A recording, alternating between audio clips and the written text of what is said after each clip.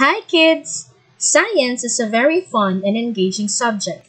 We will be learning more of ourselves, our body, the animals, the plants, the earth, and the outer space. But before we can be good scientists in the science class, we need to learn the skills the scientists use to gather information. Today, we will be learning about science process skills. Science is more than a collection of facts. Learning the process skills is a preparation for becoming a scientist. Process skills are the tools scientists use to know about the world.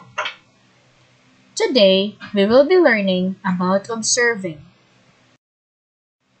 Observing uses the five senses to gather information about objects, such as their characteristics, properties, similarities, and differences. We use the five sense organs to gather observations. We use our nose, eyes, mouth, ears, and hands. Let's go to our eyes. We use our eyes to see. Here are some sample observations using our sight. The creature has five eyes. The baby is walking. The car is orange.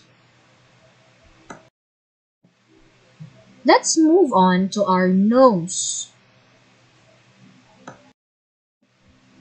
We use our nose to smell things or food.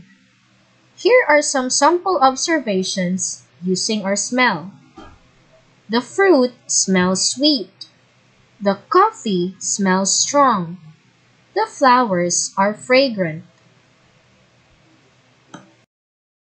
Next, our hands or our skin.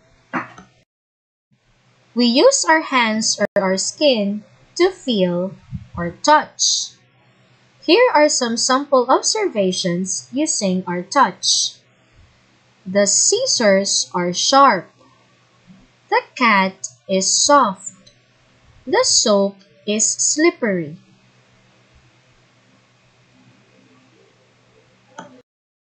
Let's go to our ears. We use our ears to hear music or sounds. Here are some sample observations using our ears. The girl is laughing. the audience is clapping.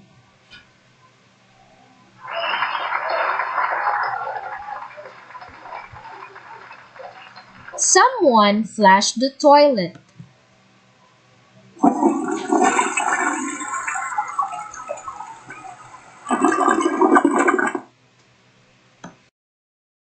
Let's move on to our mouth.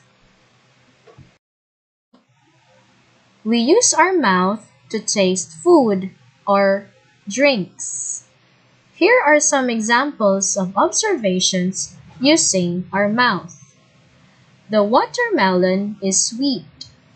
The chili is spicy. The milk is sour. There you go. Those are some examples of observations using our sense organs.